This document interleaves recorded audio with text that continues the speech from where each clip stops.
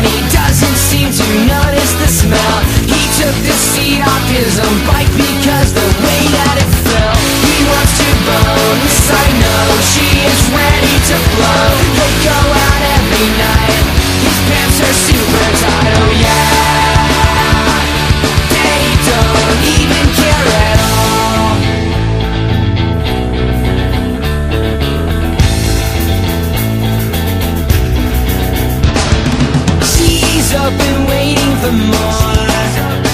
And I know he's only looking to score.